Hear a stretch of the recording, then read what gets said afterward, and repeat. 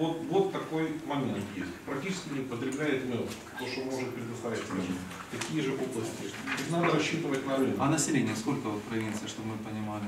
Юнай, сколько живет Юнай? Сколько людей? Юнань ну, это на юг и запад. Да, да, сколько людей живет? Эм, примерно несколько миллионов. Ну, ну где-то 10-15 миллионов, поменьше.